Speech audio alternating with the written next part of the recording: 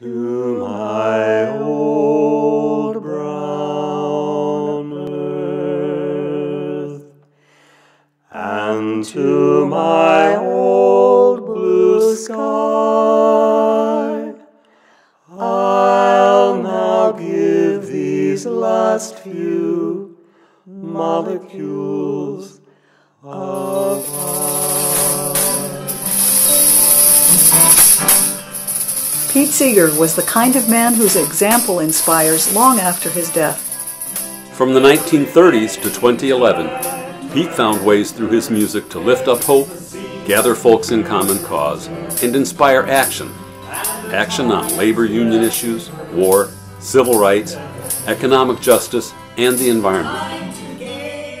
Come learn what fueled his passion, hear the backstories of songs he made famous, and sing along.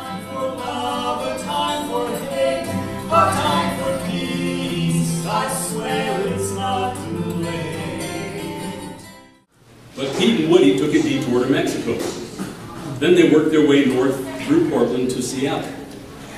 Pete wanted to meet and swap songs with, with this guy, Ivar Haglund, the founder of Ivar's Clam Chowder and Restaurant, and a noted folk singer. Pete and Woody spent a week at Ivar's home, even cutting a disc on his home recording machine.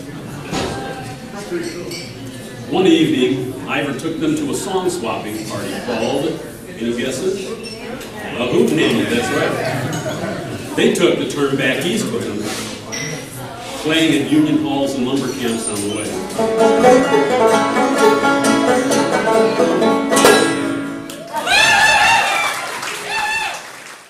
With guitar and banjo in tow, Pete and Woody saw firsthand the lingering effects of the Great Depression. From his relatively secure and comfortable perspective on life, his eyes were open to the hardships and desperate plight of those out of work and those who worked long hours with no safety, no pensions, no hope of securing even a portion of the well-being he had known. Pete and Woody wrote and sang songs whenever and wherever they could, around hobo campfires, migrant camps, union halls.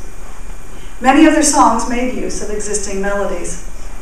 For example, they took an old fiddle tune called Red Wing and added verses to make it work as a union organizing song.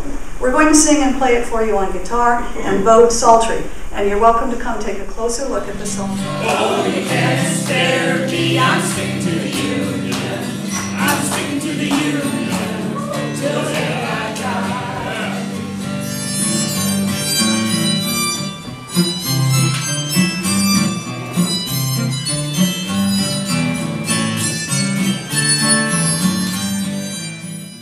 Unlike many who were summoned, Pete refused to allow HUAC to violate his right of free speech. He calmly asserted again and again and again that the U.S. Constitution guarantees freedom of association. He said he had no reason to discuss his own affiliations, past or present, with this committee, and that they had no right to ask about them. We are going to uh, neglect Pete's advice. We're going to end with one of his songs, another one of his songs. This one's called Well May the World Go, and you'll pick up the chorus if you don't already.